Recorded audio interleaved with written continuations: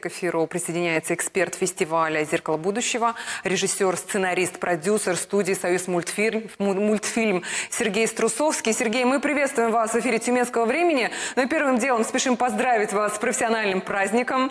Вчера отмечался Международный день анимации. И вы знаете, а если бы в этот день российские аниматоры могли бы попросить себе в подарок вот все, что угодно и у кого угодно, что бы это было? Это была бы государственная поддержка, это было бы требование закрыть студию Pixar, чтобы конкуренции не было, или чтобы вот таких фестивалей, как «Зеркало будущего», возможно, больше проходило. Я приветствую да, всех зрителей Тюменского времени угу. и поздравляю с праздником анимации и считаю, что да. это праздник вообще всех людей, поскольку все любят анимацию, все смотрят фильмы и не только в детстве. Поэтому с праздником вас, дорогие друзья. А, по поводу просьбы. Я думаю, что давайте мы вместе попросим э, совместно с Тюменским временем э, создать, например, э, в Тюмени центр анимации. Почему я об этом говорю? Потому что эм, сегодня анимация развивается семимильными шагами, индустрия анимации, и крайне не хватает кадров. А это очень интересная профессия, очень увлекательная. Аниматор может находиться с ноутбуком в любой точке Эм, земного шара, имея только интернет. И не обязательно для того, чтобы работать на самых больших студиях э, мира э, и в Москве, и Питер приезжать или там ехать в Лос-Анджелес, э, нужно быть только профессиональным аниматором и иметь доступ к интернету, иметь ноутбук. Все. Я думаю о том, что эта профессия сегодня может быть очень востребована, поэтому нужно развивать такие региональные центры. На сегодняшний день огромное количество заказов по э, производству анимации, российской анимации, производится в Китае, в Индии, Корее, в Иране, э, ну где угодно. А, это колоссальное количество рабочих мест, понимаете? Да. Поэтому а, при этом я должен еще отметить, что Россия сегодня еще не входит даже в десятку стран э, крупнейших производителей анимации. Мы далеко позади, например, э, Южной Кореи.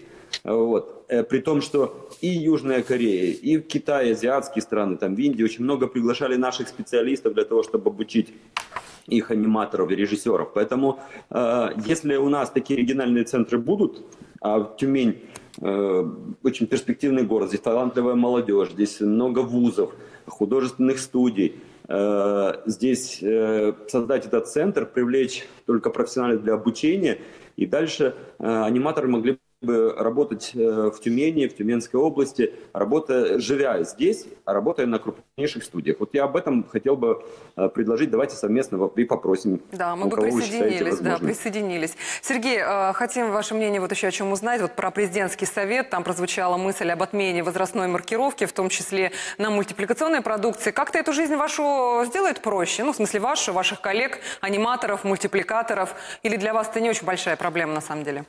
Вы знаете, угу. аниматоров это мало касается.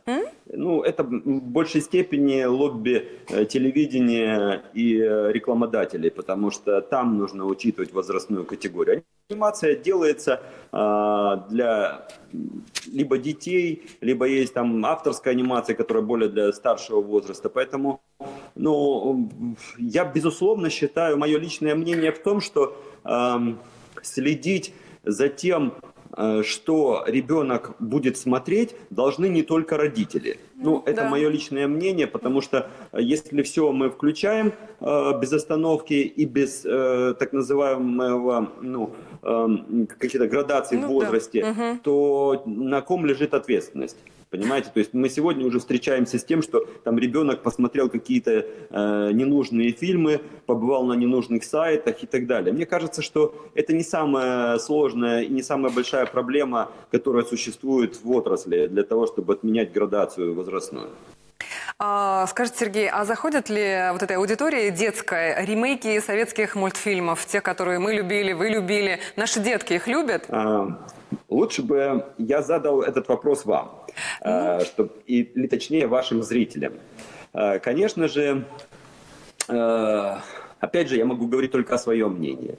Я считаю, что любой автор, который сегодня прикасается к творчеству эм, ну, с периода советского времени, э, ну, поступает может поступать не очень тактично, потому что по меньшей мере, э, ну, как мне кажется, я бы спросил, а можно ли у авторов, э, ну, если они еще живы, допустим, ну, может быть, не у всей группы, э, делать подобные фильмы, как бы вы хотели? Наверное, да, мы продлеваем таким образом жизнь нашим старым фильмам, нашим старым сериалам, но в то же самое время к этому нужно относиться бережно. Не, э, если эти проекты получаются, если зрители их смотрят и э, на них благосклонно реагируют, тогда да, ну почему бы нет. Но э, как, я как автор к этому очень осторожно отношусь. И мне кажется, еще что есть еще какой момент, что когда мы начинаем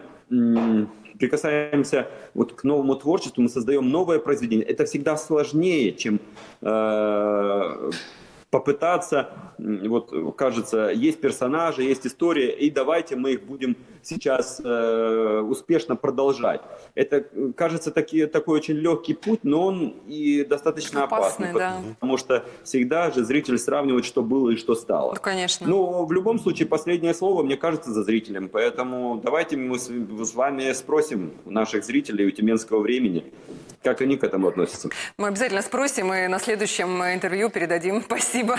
Спасибо на видеосвязи. Со студии вечернего хэштега из Москвы был эксперт и наставник фестиваля «Зеркало будущего», режиссер, сценарист, продюсер студии «Союз мультфильм» Сергей Струсовский.